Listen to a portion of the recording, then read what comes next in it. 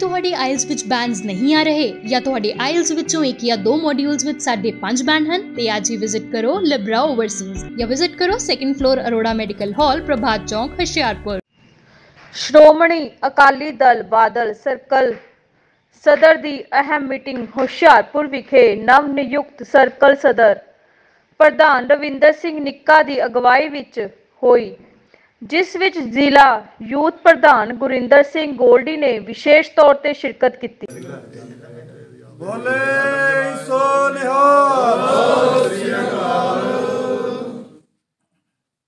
ਜਿਨ੍ਹਾਂ ਨੇ ਤੇ ਸਰਕਲ ਸਦਰ ਤੇ ਸਰਕਲ ਜਹਾਨ ਖੇਲਾਂ ਦੇ ਅਹੁਦੇਦਾਰਾਂ ਨੇ ਮੈਨੂੰ ਜ਼ਿੰਮੇਵਾਰੀ ਸੌਂਪੀ ਹੈ ਜੋ ਕਿ ਸਰਕਲ ਸਦਰ ਦੀ ਸੀਟ ਸਰਦਾਰ ਸਤਨਾਮ ਸਿੰਘ ਜੀ ਕਾਲ ਚਲਾਣਾ ਕਰ ਗਏ ਸਨ ਉਹਨਾਂ ਤੋਂ ਬਾਅਦ ਖਾਲੀ ਹੋਈ ਸੀ ਜੋ ਮੈਨੂੰ ਜ਼ਿੰਮੇਵਾਰੀ ਸੌਂਪੀ ਗਈ ਹੈ।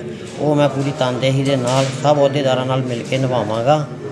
ਜੋ ਵੀ ਅੱਗੇ ਤੋਂ ਪਾਰਟੀ ਡਿਊਟੀ ਲਾਏਗੀ ਉੱਥੇ ਅਸੀਂ ਪੂਰੇ ਉਤਰਾਂਗੇ। ਸਰ ਜਿਹੜੀਆਂ ਆਉਣ ਵਾਲੀਆਂ ਆਪਣੇ ਚੁਣੌਤੀਆਂ ਉਹਨਾਂ ਦੇ ਬਾਰੇ ਕੀ ਰਣਨੀਤੀ ਹੈਗੀ? ਉਹਨਾਂ ਬਾਰੇ ਅਸੀਂ ਪਾਰਟੀ ਵਾਸਤੇ ਵੱਧ ਤੋਂ ਵੱਧ ਮਿਹਨਤ ਕਰਾਂਗੇ।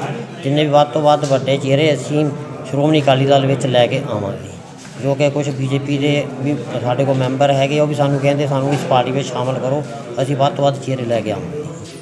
ਮੈਂ ਗੁਰਿੰਦਰ ਸਿੰਘ ਗੋਲਡੀ ਜ਼ਿਲ੍ਹਾ ਪ੍ਰਧਾਨ ਯੂਥ ਅਕਾਲੀ ਦਲ, ਹੁਸ਼ਿਆਰਪੁਰ। ਅੱਜ ਅਸੀਂ ਮੀਟਿੰਗ ਇੱਥੇ ਸਰਕਲ ਸਦਰ ਤੇ ਯੂਥ ਅਕਾਲੀ ਦਲ ਦੇ ਸਾਰੇ ਸਰਕਲ ਪ੍ਰਧਾਨਾਂ ਦੀ ਤੇ ਮਹੱਲਾ ਇਸਲਾਮਾਬਾਦ ਵਿਖੇ ਹੋਈ। ਇਹਦੇ ਵਿੱਚ ਅਸੀਂ ਸਾਡੇ ਬਹੁਤ ਹੀ ਸਤਿਕਾਰਯੋਗ ਸਵਰਗਵਾਸੀ ਜਥੇਦਾਰ ਸਤਨਾਮ ਸਿੰਘ ਜੀ, ਜੋ ਕਿ ਸਾਡੇ ਵਿੱਚ ਨਹੀਂ ਰਹੇ, ਉਹਨਾਂ ਨੂੰ ਸ਼ਰਧਾਂਜਲੀ ਦਿੱਤੀ ਗਈ ਅਤੇ ਸ਼ੋਕ ਮਤਾ ਪਾਸ ਕੀਤਾ ਗਿਆ। ਸਤਨਾਮ ਸਿੰਘ ਜੀ ਦੀ ਜੋ ਵੀ ਸਾਨੂੰ ਸਿਖਾ ਕੇ ਗਏ ਪਾਰਟੀ ਦੇ ਪ੍ਰਤੀ ਜੋ ਵੀ ਜ਼ਿੰਮੇਵਾਰੀ ਨਿਭਾਉਣ ਨੂੰ ਸਾਨੂੰ ਸਿਖਾ ਕੇ ਗਏ, ਉਹਦੇ ਤੇ ਚੱਲਣ ਲਈ ਅਸੀਂ ਵਚਨਬੱਧ ਹੋਵਾਂਗੇ। ਉਹਦੇ ਸਿਲਸਿਲੇ ਵਿੱਚ ਅਸੀਂ ਅੱਜ ਮੀਟਿੰਗ ਕੀਤੀ ਗਈ।